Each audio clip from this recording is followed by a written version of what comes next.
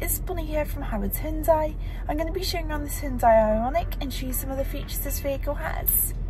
We've got reversing camera system with parking sensors, satellite navigation, heated and cooling front seats with a heated steering wheel, wireless charging dock, Bluetooth connection, DAB radio, Apple CarPlay and Android Auto, heated rear seats.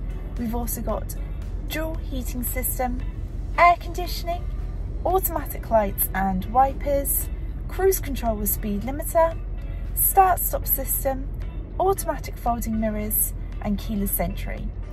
Now let's take a look around this vehicle.